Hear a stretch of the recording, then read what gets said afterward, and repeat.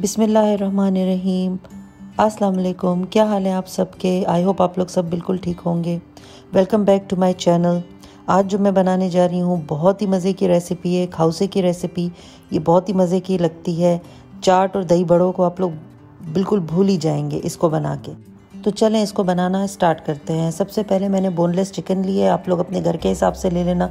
जितने लोगों ने खाना है, मैंने जो है वो वन के जी बोनलेस चिकन लिए। उसके अंदर जिंजर गार्लिक डाल दिया।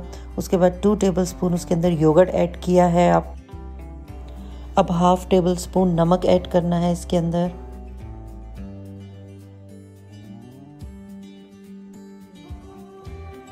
और half tablespoon red chilli powder यानी लाल मिर्च का पाउडर ऐड करना है। इसकी बजाय आप लोग कश्मीरी लाल मिर्च भी ऐड कर सकते हैं पेपरिका भी।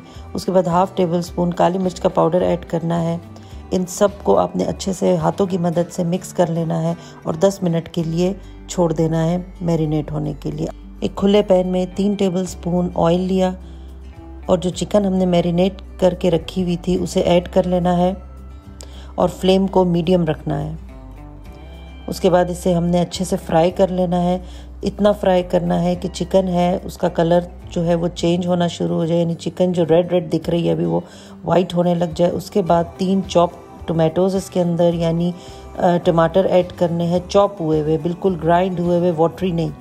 चॉप हुए हुए वो ऐड करना है और इसे तकरीबन 15 से 20 मिनट के लिए कवर करके छोड़ देना है। तो चिकन हमारी जो है वो रेडी हो गई है। उसके बाद जब हम खोलेंगे तो इसका पानी खुश्क हो चुका होगा और इसे हम हल्का सा फ्राई कर लेंगे।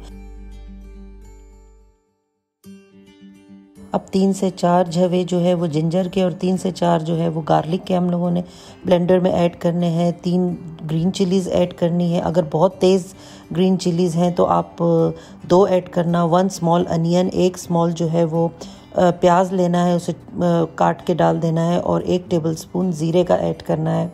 उसके बाद इसके अंदर चार टेबल स्पून दही के ऐड करने हैं। अभी मैं इसके अंदर बेसन ऐड नहीं कर रही हूँ। अब दोबारा से तीन टेबल स्पून योगर्ट के लेने हैं, दही के। उसके अंदर तीन टेबल स्पून बेसन के ऐड करने हैं। और इस मिक्सचर को मिक्स कर लेना है, जो पहले हमने मिक्सचर बनाया था उसके साथ अच्छे से।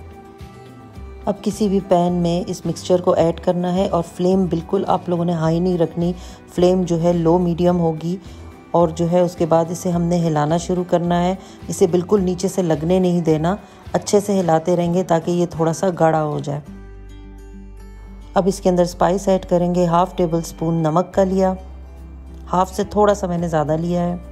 उसके बाद हाफ़ टेबल स्पून लाल मिर्च पाउडर बस इसके अंदर सिर्फ़ यही डलेगा, इसके अलावा कुछ नहीं डलेगा, क्योंकि ऑलरेडी ग्रीन चिलीज़ हम लोग डाल चुके हैं तो इस वजह से फिर बहुत स्पाइसी हो जाएगा। अब इसको हम हिलाते रहेंगे तो ये गाढ़ा होना शुरू हो जाएगा। देखिए, ये इतना गाढ़ा होना चाहिए।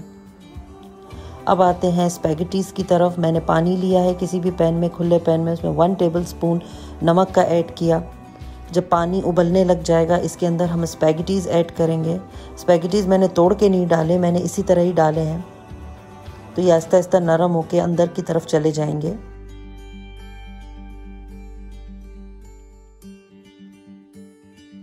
तो स्पैगेटीज़ को इस तरह हिलाते रहना है ताकि ये एक दूसरे के साथ स्टिक ना हो जाए।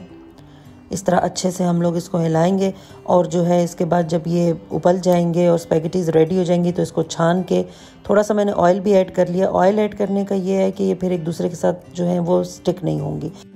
तो स्पैगेटी भी हमारी रेडी हो गई। अब मैं इसका पानी छान के निकाल लूँगी अलग से। अब इसको सर्व करने की बारी आई है। सर्व करने का ये तरीका है कि जिस तरीके जिसमें भी आप लोगों ने जो है वो सर्व करना है, जिस पैन में या किसी भी चीज़ में, उसके अंदर सबसे पहले हम लोग स्पैगेटी ऐड करेंगे। जितनी भी स्पैगेटी आप लोगों ने बनाई है, वो स्पैगेटी आप लोग इसके अंदर ऐड कर लेंगे सबसे पहले।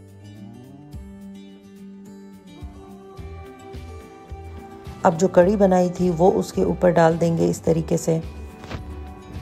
मेक श्योर sure होना चाहिए कि सब कुछ गर्म हो, ताकि जो जहाँ जिनको आप सर्व कर रहे हैं, उनको खाने में बहुत अच्छा लगे।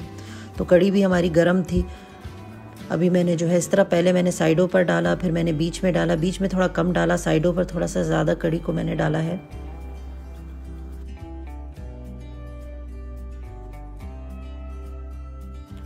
अब इसके ऊपर हम चिकन ऐड करेंगे जो हमने बनाई थी।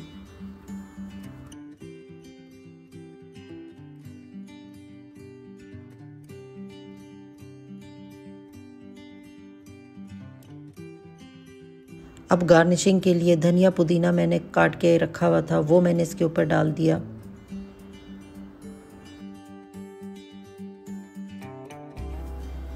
अब इसके ऊपर मैंने ये वाले चिप्स डाले हैं, मैक्स के, मैक्सिकन चिली, ये मुझे पसंद है, इस वजह से मैंने डाले आप लोग कोई से भी चिप्स डाल सकते हैं, या जो वो चाट के ऊपर पापड़ी डलती है, वो भी आप लोग डाल सकते हैं। मैंने तो ये वाले चिप्स डाले थे। आप लोग कोई से भी चिप्स डाल दें। यहाँ पर यू में ओमान चिप्स मिलते हैं, वो भी बहुत मज़ा आता है। इसके ऊपर आप लोग क्रश करके वो भी ऐड कर सकते हैं। लेकिन ये चिप्स जो हैं, वो मर्ज़ी आप लोग की ऑप्शनल अगर आप लोग डालना चाहें। मुझे तो खैर बहुत मज़ा आता है इसको खाने में। अगर आप लोग को चाट और दही बड़े बहुत पसंद हैं तो ये भी आप लोगों को ज़रूर पसंद आएगा। दिखने में ये जितना खूबसूरत लग रहा है, खाने में ये उतने ही मज़े का था। आप लोग ज़रूर इसको ट्राई कीजिएगा और मुझे ज़रूर बताइएगा मेरी रेसिपी कैसी लगी। और मेरे चैनल को लाइक और सब्सक्राइब ज़रूर कीजिएगा। थैंक यू एंड अल्लाह हाफिज़।